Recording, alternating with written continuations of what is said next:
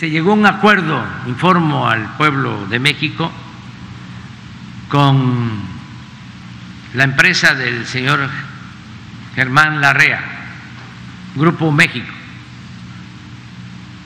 porque se decidió, de conformidad con un decreto,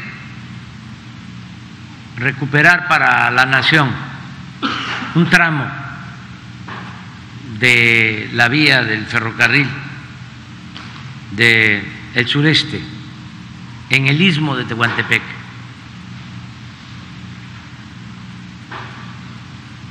Y se llegó al acuerdo de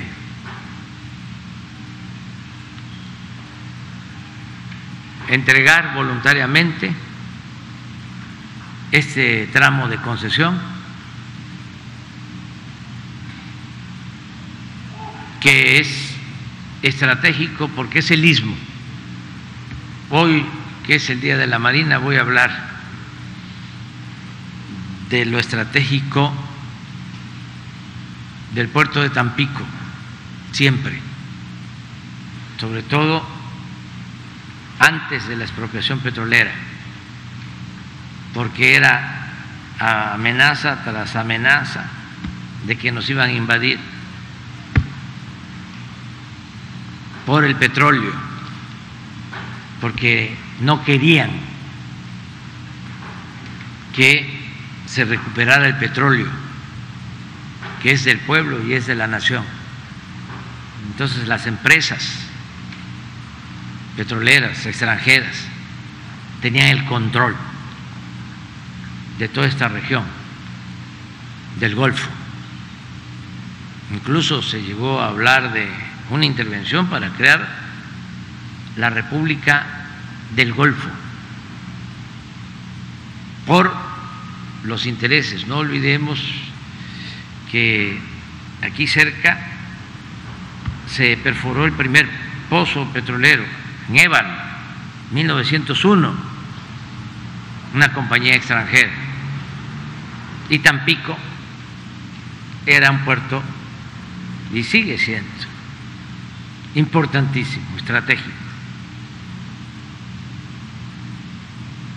Lo mismo el istmo de Tehuantepec. Imagínense la franja más angosta de nuestro país para comunicar el Pacífico con el Atlántico, el Pacífico con el Golfo. Desde hace siglos es ambicionada esa franja.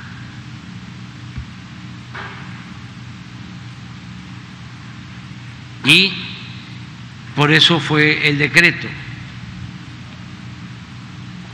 para considerar zona de seguridad nacional y de utilidad pública. Y eso fue lo que llevó a la recuperación de este tramo, porque prácticamente ya toda la vía del sureste está recuperada, ya es de la nación, pero faltaba este tramo de 120, 140 kilómetros.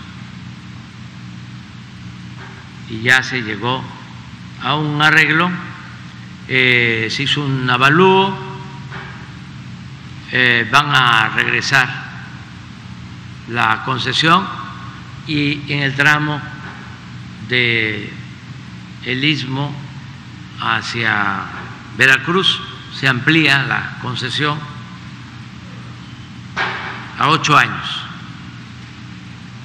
No se paga, sino se les amplía ocho años su concesión por ceder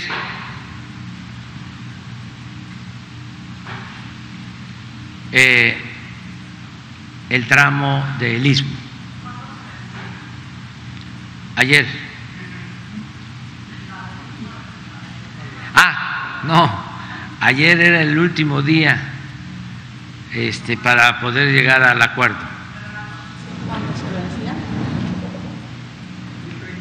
2036. son ocho años más, es, va a ser 2044. ¿Por qué no pones el plano del... Sí, para que fue un buen acuerdo, este, porque ya la Secretaría de Marina este, va a operar todo el ferrocarril del Istmo. Ahora van a ver lo que le va a corresponder manejar a la empresa pública de la Secretaría de Marina. Es el ferrocarril, son los dos puertos, tres, cuatro. Puerto Chiapas, Salina Cruz, Coatzacoalcos y Dos Bocas. Hay otro sobre el, tramo en particular. Sí, sí.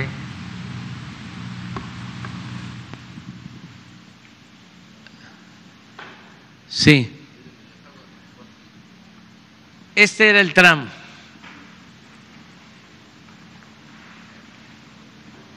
de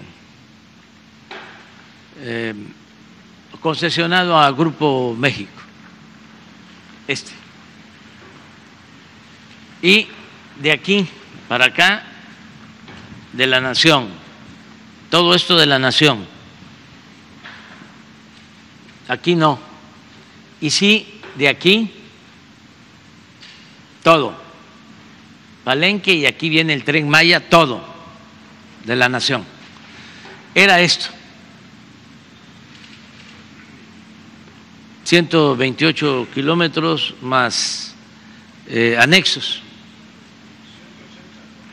180 en total. Entonces, este fue el acuerdo eh, y creo que es benéfico. Además, es un asunto, repito, de seguridad nacional. Ayer decía que nosotros no nos metemos en las confrontaciones internacionales de potencias, pero queremos mantener intacto, íntegro nuestro territorio, nuestra soberanía. Y es un proyecto muy importante porque se trata de eh, unir el Pacífico con el Golfo. Estamos hablando nada más de 250, 300 kilómetros. Y estamos invirtiendo ya para agosto está eh, terminada la nueva vía y va a empezar ya a funcionar el tren de carga y luego de pasajero.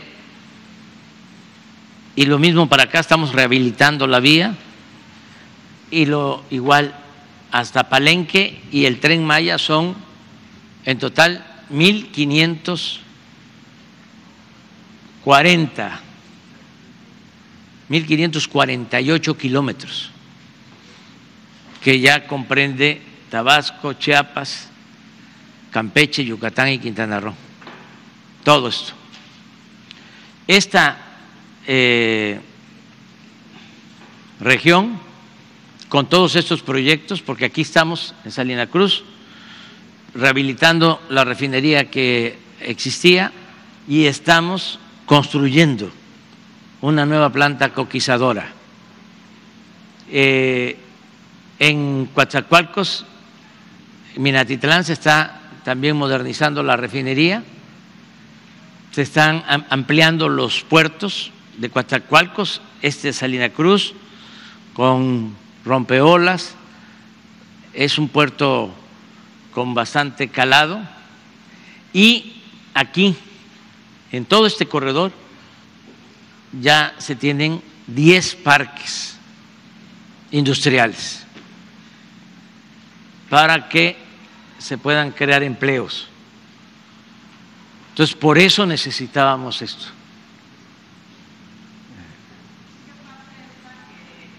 La que se amplía la concesión de Coatzacoalcos a Veracruz. De Medias Aguas, es, este, este es el cruce, aquí va Veracruz. E, Esta concesión la tienen ellos. De Medias Aguas a Veracruz, sí. Y, eh, pero tenían hasta Coatzacoalcos. A ver. Esta es. Sí, pero eh, está claro también el otro. Entonces, ellos tenían hasta acá. Entonces, esta parte es lo que están devolviendo,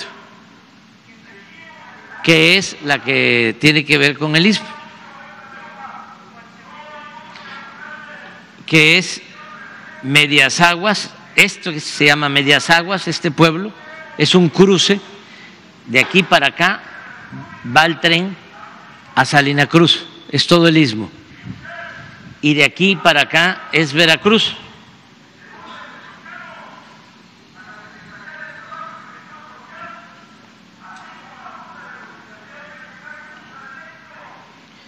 Y este y ya también para acá todo es el tren Maya, todo, todo ya es de la nación.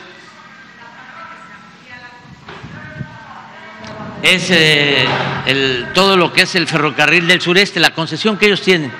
No tienen otras, es nada más lo que se conoce como ferrocarril del sureste básicamente.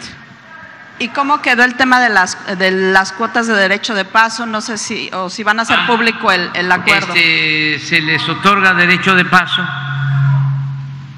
nada más que tienen que pagar una cuota a la empresa de Marina. A ver, explícalo. Sí, todo.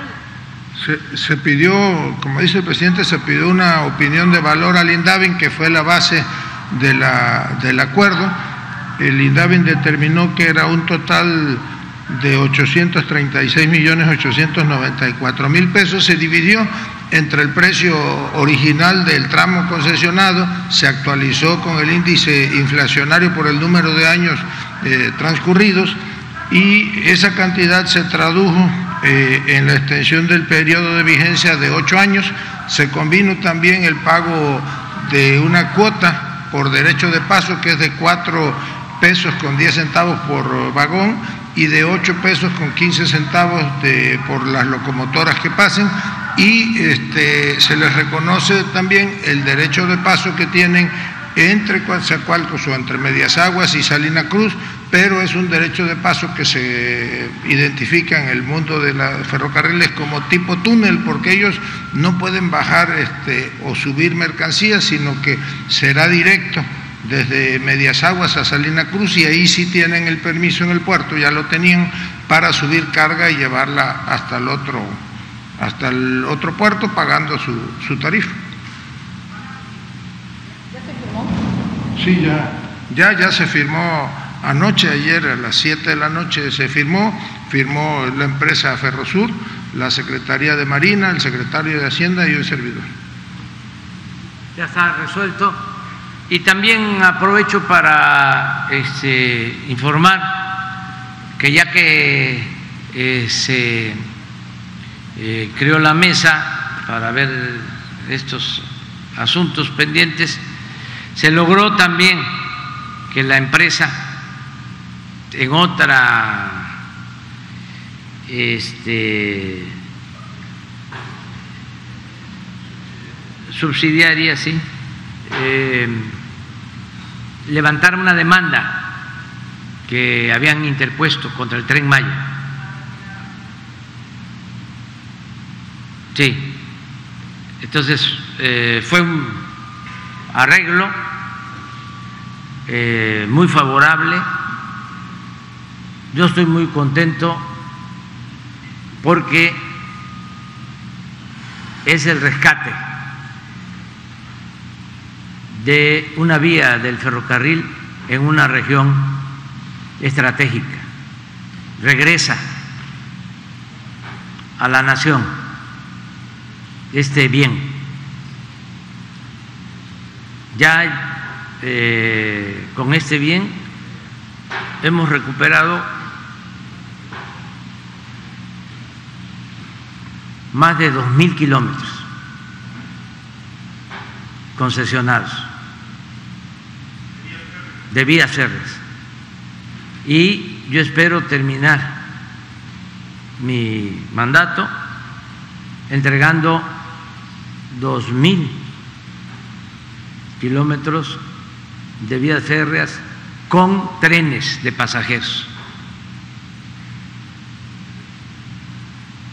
Eso pues no se veía desde hacía mucho tiempo, desde que se tomó la mala decisión de privatizar los ferrocarriles, que los entregó Ernesto Cedillo, concesionó todo el ferrocarril del país y desaparecieron los trenes de pasajeros y quedaron nada más trenes de carga. Entonces, regresa el tren, regresa el ferrocarril de pasajeros. Y espero que, como hablamos aquí, estamos sentando las bases y hacia adelante se siga. Imagínense que tengamos comunicación de nuevo como era antes por ferrocarril. Y es posible este, hacerlo.